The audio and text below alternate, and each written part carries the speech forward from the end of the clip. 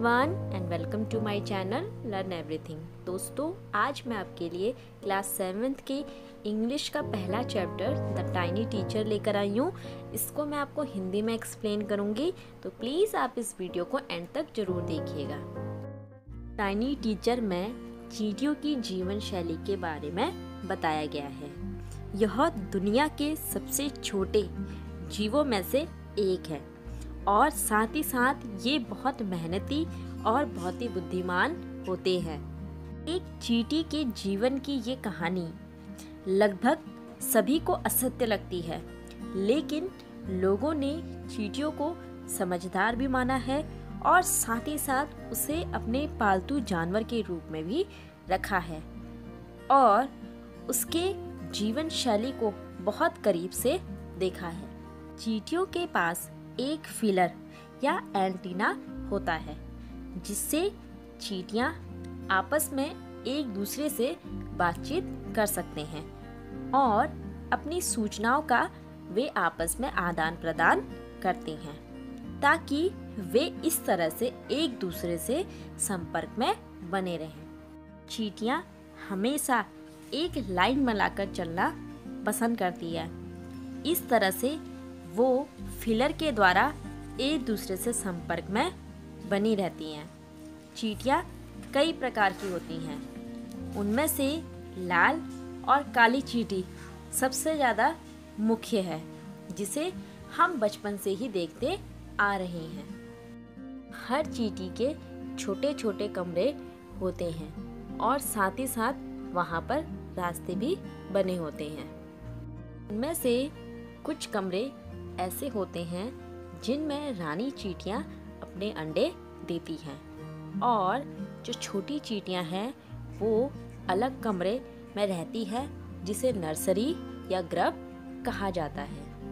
काम करने वाली चीटियों के अपने अलग से कमरे होते हैं। और ये चीटियाँ अपना ज़्यादातर समय सिर्फ़ भोजन की तलाश में ही बिता देते हैं।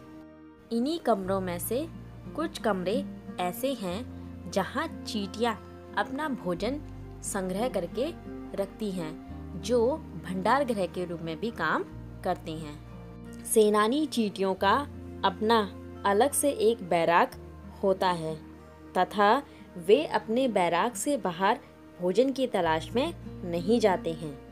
और कोई भी अन्य चीटियाँ सेनानी चीटियों के घर में रहने की कोशिश नहीं करते।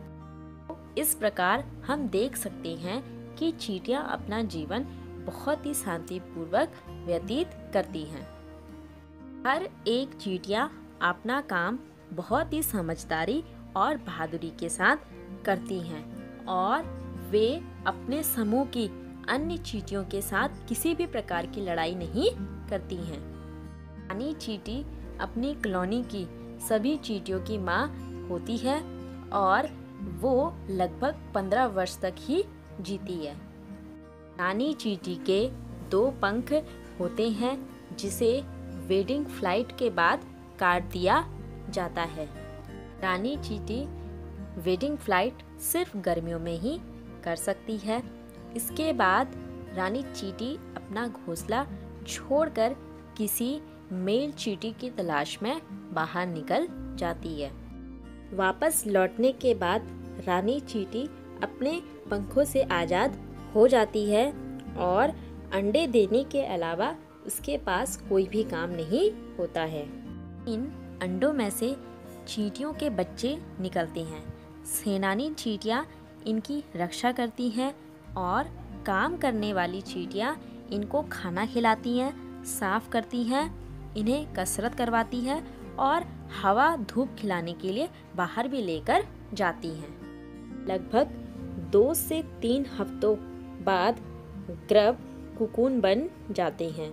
कुकून का समय तीन हफ्तों का होता है और इसके बाद इन कुकून में से चींटियाँ बाहर निकल आती हैं। बाहर निकलने के बाद चींटियों की अलग से कुछ ट्रेनिंग करवाई जाती है और कुछ ही हफ्तों में वे अपने काम करने के लिए तैयार हो जाती हैं। चीटियों के घर में उनके साथ कुछ अन्य तरह के जीव भी रहते हैं, जैसे कि बीटल्स, जो कि एक प्रकार का कीड़ा होता है।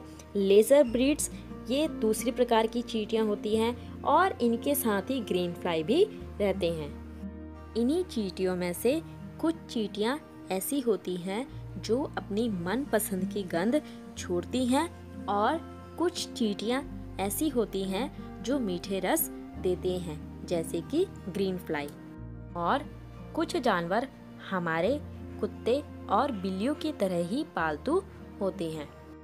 ग्रीन फ्लाई चीटियों की गाय होती है, जिस प्रकार गाय हमें दूध देती है, उसी प्रकार चीटियाँ ग्रीन फ्लाई को ट्रेनिंग देती है ताकि वो उसे मीठा रस दे सके। तो इस प्रकार हम कह सकते हैं कि मनुष्य के लिए चीटियाँ एक प्रकार से टाइनी टीचर का काम कर रही हैं, क्योंकि हमें चीटियों से बहुत कुछ सीखने को मिला कि किस तरह से चीटियाँ अपना काम बहुत ही समझदारी और बहादुरी के साथ करती हैं। तो हमें भी चीटियों की तरह ही अपनी जीवन शैली को बनाए रखना चाहिए। हमें चीटियों से, बहुत सी चीज़ें सीखने को मिलती हैं कि हमें अपने लक्ष्य को पाने के लिए किस तरह से कड़ी मेहनत करनी चाहिए, साथ ही साथ किस तरह से अपने कर्तव्यों का पालन करना चाहिए और अपने काम को अनुशासन में रहकर करना चाहिए। साथ ही साथ हमें चीटियों से ये सीख भी लेनी चाहिए कि हमें समूह में मिलजुल कर रहना चाहिए।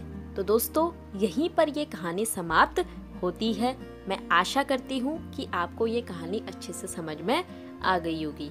तो दोस्तों, इसी तरह से मेरे चैनल के साथ जुड़े रहिए।